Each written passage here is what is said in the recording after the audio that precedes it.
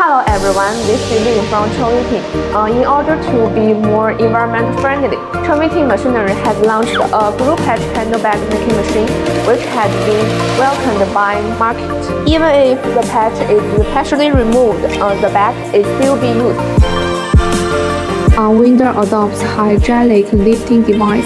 Max diameter of the unwinder is 900 millimeters. This is a hot melt device. Quantity of gelatinizing is adjustable.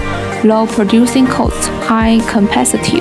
If you are interested in this machine, welcome to inquiry. 记得点赞关注哦。